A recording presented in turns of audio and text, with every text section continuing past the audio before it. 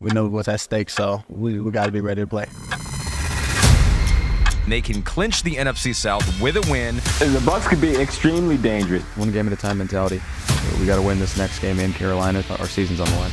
We got four quarters, man. Four quarters that pose our damn wheel, man. Coming for glory. We ready for war. The city's behind us. We giving you more. He goes down. He's intercepted on the play. He is sacked again. First and ten. Oh, it's caught. Rise when we fall. Rise when we fall. But never stay down. Never stay down. The champs is here. Doing it for the town. This is our moment. Yeah. This is our time. The time is now. It's time to rise. It's a win, and we're in a situation, you know, he's got to play our best ball. We got to turn this ship to win today and keep that sprung into the playoffs.